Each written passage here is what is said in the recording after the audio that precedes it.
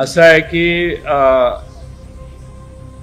काही षडयंत्र याच्यात आहे का विनेश फोगाट यांचा परफॉर्मन्स काल परवा आपण जो बघितला तो एवढा उत्तम होता आणि त्यामुळं काय सूत्र हल्ली कुठून हल्ली कशी हल्ली वजन पन्नास शंभर ग्रॅम कसं वाढलं या सगळ्यांच्या बद्दल शंका व्यक्त होते.